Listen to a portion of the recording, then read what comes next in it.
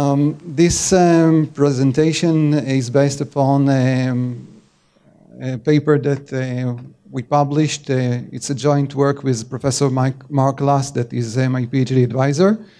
Um, as you can see, it, uh, it was um, published, part of it is uh, published uh, on the International Journal of Applied Mathematics and as well as in KDD workshop um, in August last year.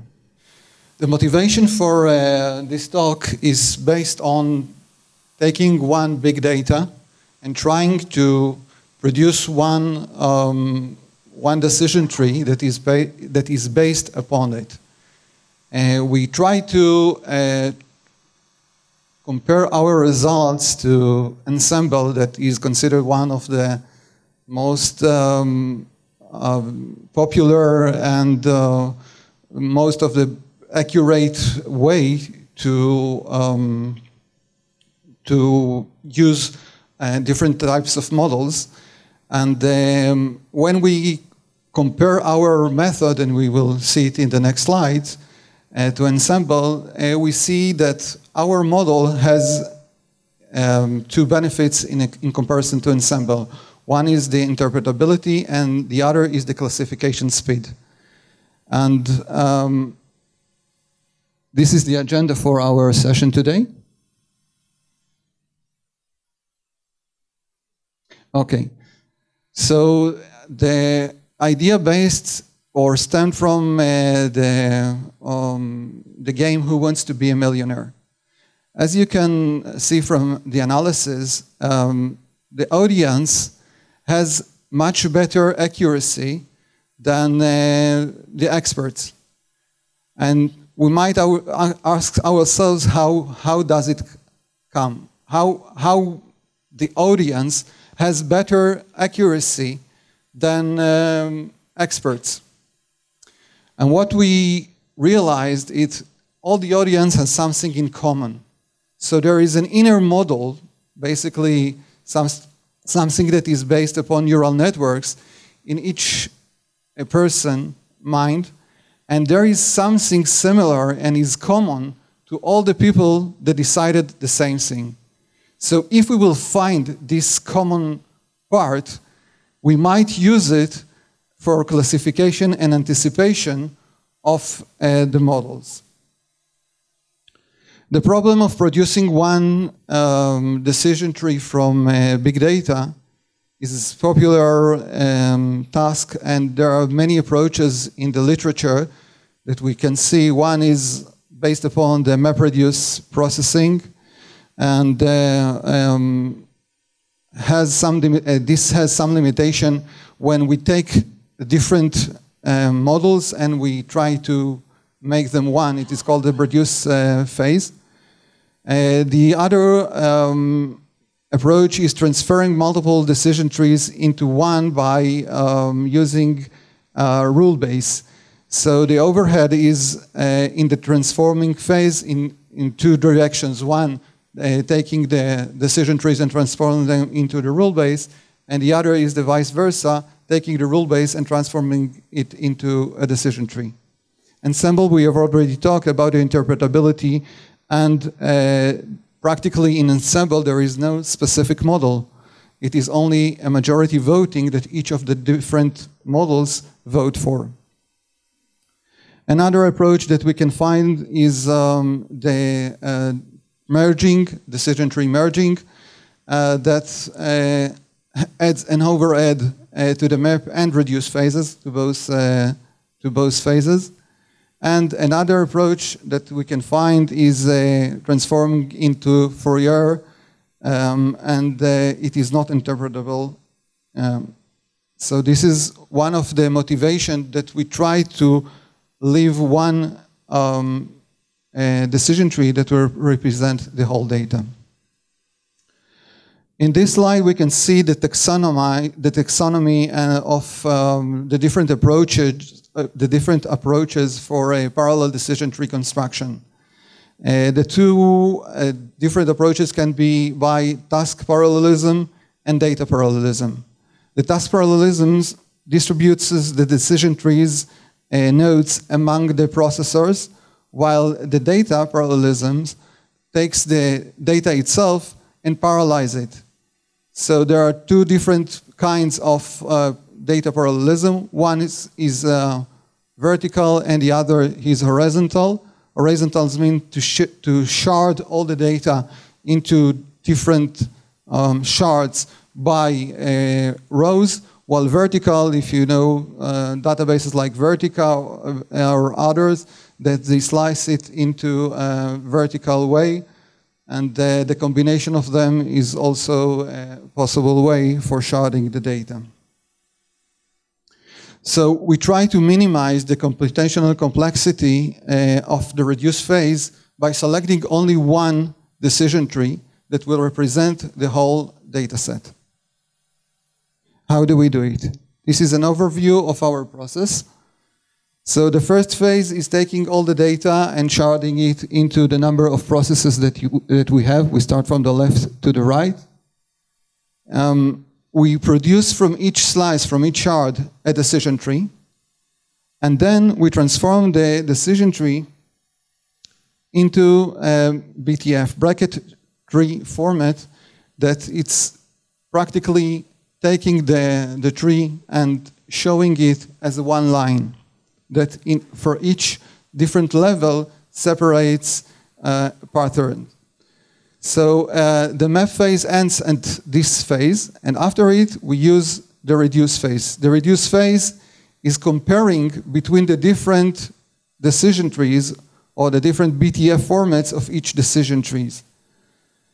After we have the comparison of each uh, two couples of uh, decision trees, we compare between them, and then we select the tree that represents or the, the most similar to all the others. Uh, our uh, methodology is, was called uh, SySM Syntactic Similarity Method. And now we will go to, into details. No, I'm, I'm not going to explain you the algorithm of the BTF that it practically transforms the, the um, decision tree into the bracket tree format recursively. And this is the algorithm that I'll show you step by step. As you have already seen, we shard the data set into different shards, the number of CPC, uh, the, the processes we have. Then we produce the decision tree. We, we transform them into the BTF. And then we compare the tree edit distance between each of them. The RTED, as was presented in the previous um, uh, slide, was um, shown and uh, uh, by um, Pawlik et al. at uh, 2011. So as you can see, the first one, the first decision tree, has the upper level of A, B, and C, the second one A, B, and E, and the third one A, F, and E. Who is the most similar decision tree? That's right. The second one, why? It has the most common nodes to the others. You can see that A and E are common to the third one, and A and B are common to the first one. And hence, as you can see from the distance, it is the one that is chosen to represent the whole data. As you all know, different uh, or slight difference in data can cause major changes to the decision tree structures. And our second approach is called semantic similarity algorithm. It works the same as the first one. It starts the same. It produces different, uh, it produces from each shard decision tree. But now we don't look at the decision tree structure, but to the results of the prediction of the decision tree over um, part of the data that we are trying to validate. And we, we, we find the common um, results for each uh, row, and the one that has the most common is the one to be chosen to represent the whole.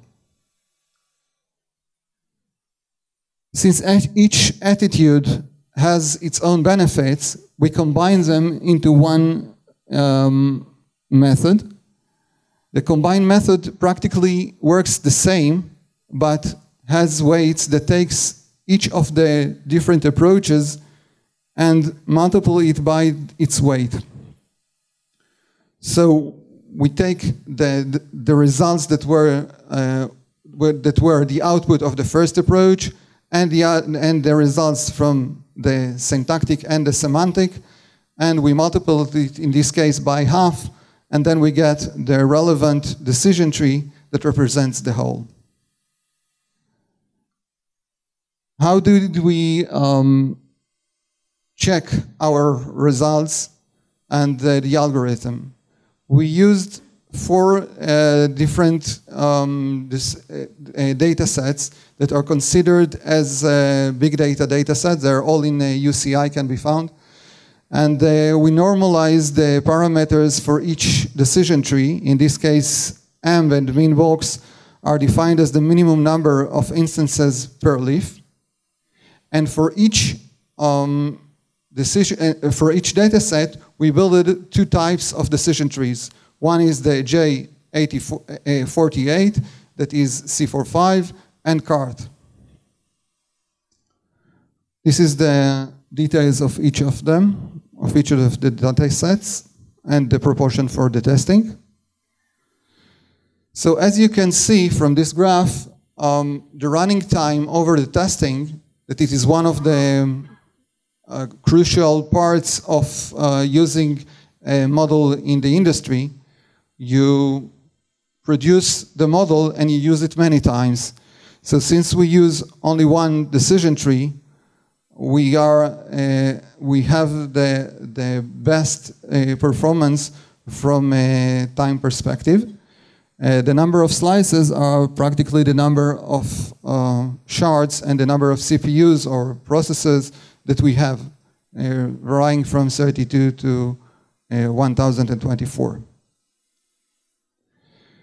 So the first one uh, you can see um, very shortly is uh, the um, data set it's called uh, Poker. You can see um, our results are very similar to Ensemble and other um, approaches.